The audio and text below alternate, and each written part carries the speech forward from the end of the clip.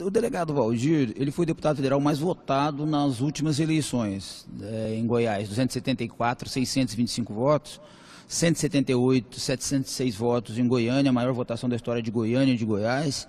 E desde então nós pensamos em fazer é, entrar para a política e fazer a diferença. E já fizemos isso de forma inicial na Câmara Federal.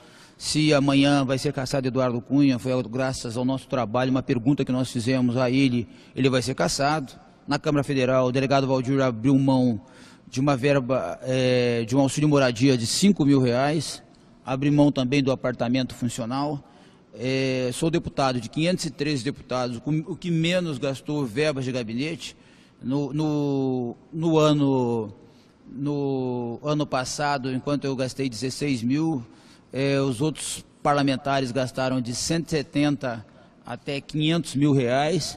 Então nós inovamos e fizemos a campanha sem compromissos, sem, cabo, sem cabos eleitorais, apenas alguns amigos, sem estrutura, sem apoio do partido, sem parceria com deputados estaduais. Então nós inovamos na política, subimos em cima de, uma, de um veículo, de uma caminhonete, saímos pedindo voto e mostramos a nossa coragem, a nossa ousadia.